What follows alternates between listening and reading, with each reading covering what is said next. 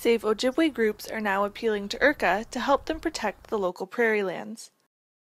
At a recent board meeting of the Essex Region Conservation Authority, local advocate Nancy Pancheshan made a presentation to ask for their assistance. You know, I look at it as an educational opportunity just to let the board um, know what Ojibway is.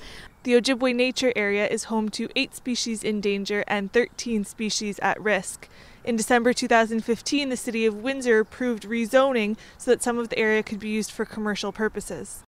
Pancheshan, who has been involved with the cause for more than eight years, is asking ERCA to conduct tests to the Ojibway prairie lands.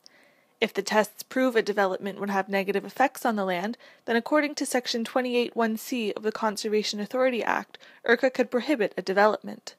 But, according to ERCA board members, since there's currently no development application, it's still too early for them to get involved. But at this point in time, there is not a development to consider and there is nothing in front of staff at this point in time to apply any of the tests of the Conservation Authorities Act to. Pancheshan said she's confident that when the time comes, she'll have ERCA's support. For Mediaplex News, I'm Ashley Ann Mentley.